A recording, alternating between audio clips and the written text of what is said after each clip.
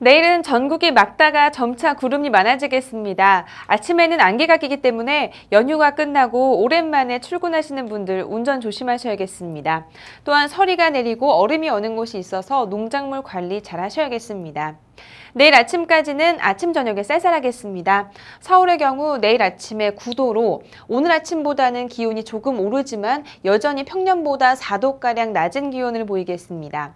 이후 점차 조금씩 기온이 오르면서 쌀쌀함이 누그러지겠습니다.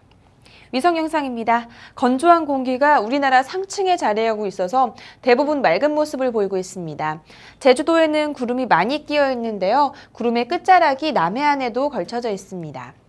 요즘 우리나라는 대륙 고기압의 영향을 받고 있어서 맑고 쌀쌀합니다. 내일도 이 고기압의 영향을 받겠지만 차차 그 가장자리에 들게 되겠습니다. 따라서 전국이 맑다가 오후부터 점차 구름이 많이 끼겠습니다.